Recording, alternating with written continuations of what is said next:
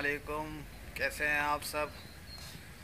امید ہے سب خیریت سے ہوں گے بھائیوں آج جو ہے میں ٹرپل اے کیٹل فارم پہ آیا ہوں بھائیوں ادھر کے آپ کو جانور دکھاتا ہوں، ماشاءاللہ بہت زبردست محنت کرتے ہیں یہ لوگ بھی۔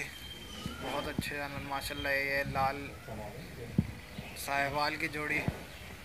اور مزید جانور ہیں ماشاء اللہ اندر۔ کے کر کے سب دکھائیں گے انشاءاللہ۔ یہ میرے خیال ہے سب سے زیادہ بھاری جانور ہیں دونوں۔ بہت زبردست ایک جیسے ہی بناؤ میں ہے ماشاء اللہ ماشاء اللہ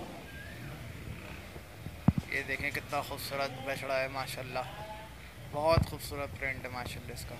ماشاء اللہ ماشاء اللہ اتنا پیارا چہرہ ہے ماشاء اللہ اچھی اچھا بناؤ میں بھی اچھا ہے۔ گردن وردن بہت بھاری ماشاء اللہ یہ بھی ماشاء اللہ اچھا جانور ہے ایک۔ ماشاء اللہ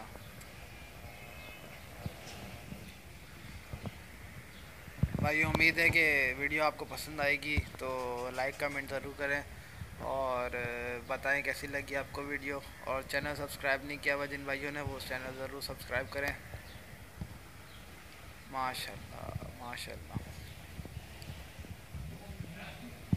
ماشاء اللہ یہ بھی سائے ہے، لیکن یہ تھوڑا سا مختلف اس لیے لگ رہا ہے کیونکہ یہ جو ہے وہ پنچ نہیں ہوا مطلب یہ ابھی کھسی نہیں ہوا ہوا باقی وہ دونوں پنچ تھے۔ ماشاء اللہ ماشاء اللہ لائن کنگ۔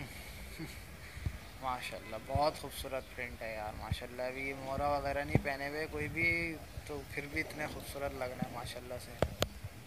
ماشاء اللہ یہ اس کا جوڑی دار لگ رہا ہے۔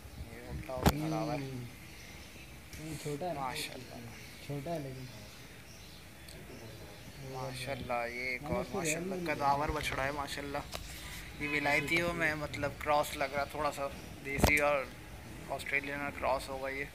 اس لیے کد کاٹ میں ماشاء اللہ بہت اوپر ہے۔